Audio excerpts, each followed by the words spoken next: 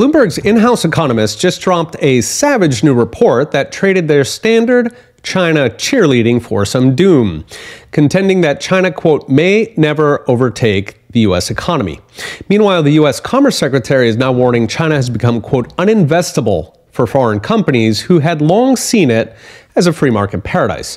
So this is a big deal because for 35 years now, it has been an article of faith that China was going to inherit the earth. China's rise was inevitable, and we were all living on borrowed time.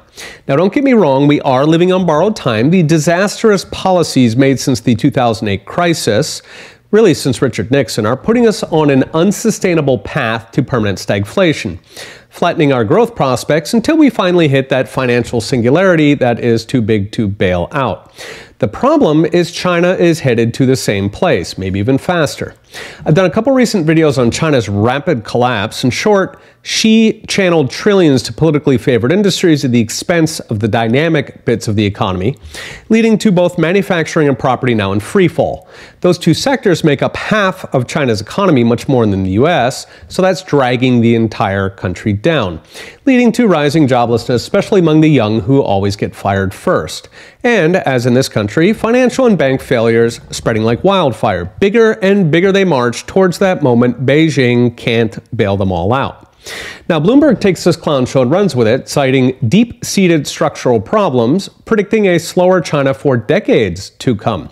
Specifically, they now think China could momentarily pip the US sometime in the 2040s, but then immediately fall behind again as China's population shrivels thanks to their idiotic one child policy that appears to have become a social norm. So, seven years after one child ended, China's currently sporting 1.09 births per woman. For a sense, if that continued for a generation, or for three generations, a century, China's population would drop eightfold to about half what it is in the US. Now, keep in mind, that doesn't mean China's poor. It simply means they're number two, maybe number three if India keeps plugging away, which doesn't really matter day to day. It's more of a prestige and power thing, but it is a big change from the doomsday predictions of the past decades. And it suggests that China may already be past its peak of power. So, what's next? I think Bloomberg's being short sighted. Xi is not immortal. And China has a lot more free market bureaucrats than the US or, God forbid, Europe. Yes, China's in for some lean days, and those would hit a lot of poor countries like Africa who depend on exports to China. But Xi himself has got a lot of opposition inside the Chinese government, despite building a personal police state, so he could retire surprisingly soon.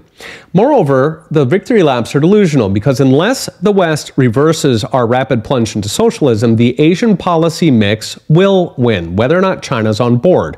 So, what we see in Korea, Singapore, Taiwan, where the economy is nurtured because it is the social safety net, because prosperity leads to the rest rather than today's West, which crushes the real economy to buy votes or to fund activists who prefer to burn things instead.